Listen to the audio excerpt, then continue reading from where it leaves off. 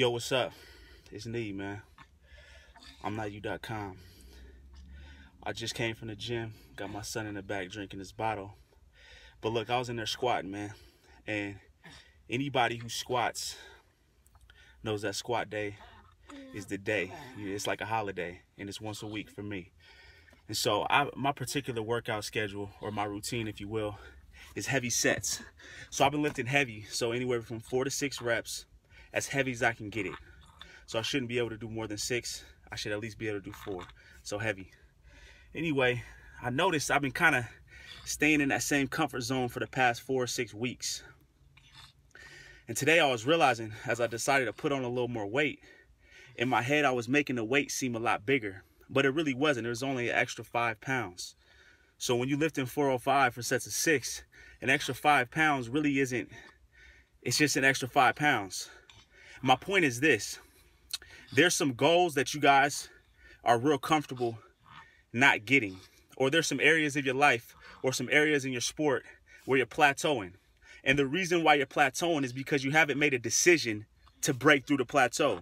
Now, a lot of people is like, oh man, uh, you know, I just can't seem to get faster, or I can't seem to add the, add that weight or lose that weight, or I can't seem to, you know, break through in this particular aspect of, of your sport, whether it's basketball, football, whatever, tennis. But the thing about it is you don't realize is that real, real dramatic change or significant change doesn't come by accident. It, it comes from a conscious decision to do it. So what you need to start doing is making the decision to break through that plateau. Like today, I made a decision to lift more weight. I could have easily stayed in my comfort zone, but I decided that, yo, today is the day that I'm going to lift more weight. Today is the day that I'm adding more onto my squat max. Today is the day that I'm to push past these previous previous limits.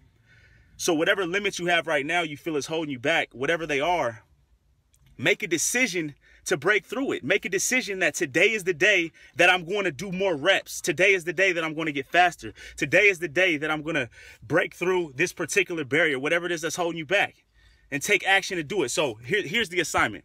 Number one, decide one area, specific area that you want to improve, one area that you've been sort of plateauing. Decide exactly what it would look like for you to achieve your success that you want. What is the breakthrough that you're looking for? Whether it's, you know, more reps on a 225 bench press for all you football players out there. Whether it's that adding speed to your softball pitch or your baseball pitch. Whether that's, you know, shaving off seconds off your 40 time or your 100 meter dash, whatever it is. Decide what it is. Write it down. The next thing is say, if I was 100% committed to achieving that result, what would I do?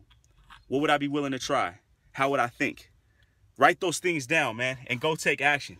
Stop waiting for results to come. Results don't come by accident. They come as a as a result of decisions that you make. So consciously make a decision to achieve whatever success it is you're trying to achieve, no matter how small of a progress that is. Decide on it today. Peace.